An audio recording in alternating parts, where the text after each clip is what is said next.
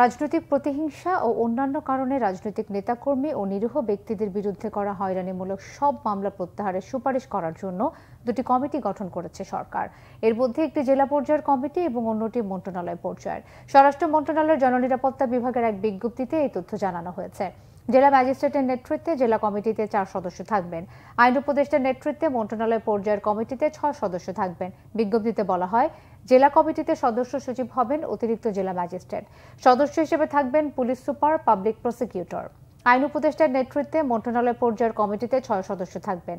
রাজনৈতিক হয়রানিমূলক মামলা প্রত্যাহারের জন্য আগামী একত্রিশে ডিসেম্বরের মধ্যে সংশ্লিষ্ট জেলার জেলা ম্যাজিস্ট্রেটের কাছে আবেদনপত্র জমা দিতে হবে। সাথে এজাহার ও চার্জশিটের সার্টিফাইড কপি জমার নির্দেশনাও দেওয়া হয়েছে।